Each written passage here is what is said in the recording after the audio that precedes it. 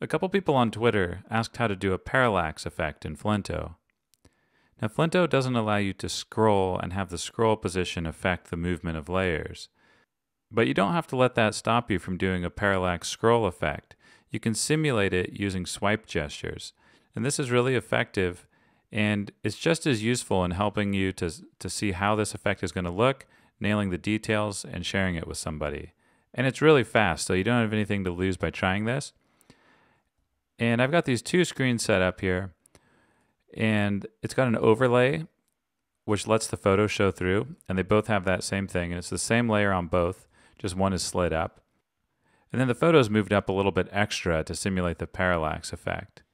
So I'm going to click the Draw Link button and create a link from this screen over to the other one. And this will be a swipe up transition, and I'm going to create a new transition for this. First thing I'm going to do is move this layer on top of the other one. Anytime you have a transition that looks like it takes place within one screen, you're going to want to align the screens together like that. Now I'm going to connect the layers. So I'm going to connect these two overlay layers and if you haven't seen our tutorial on connected layers, you should really watch that so you understand how this works. And then I'm going to connect the two photos. So now when I toggle the transition, all the connected layers move from their start positions to their end positions, and you can see that the photo moves a little bit quicker than everything else, and that creates the parallax effect. Okay, now I just need to create a link on this screen, and it's going to link back to the other screen using a down swipe. And I'm going to press the B shortcut to actually turn this into a backlink since it's just going back to the previous screen. Now let's open up the preview and I can take a look at this.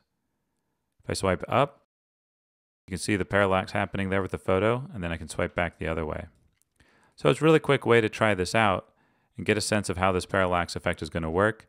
I can try adjusting the photo to make it move at a different rate and I could add in other effects really easily uh, potentially change the easing. Maybe I want that photo to bounce during this effect. Let's see how that would look. So pretty weird, but it's cool that I'm able to try it out so quickly.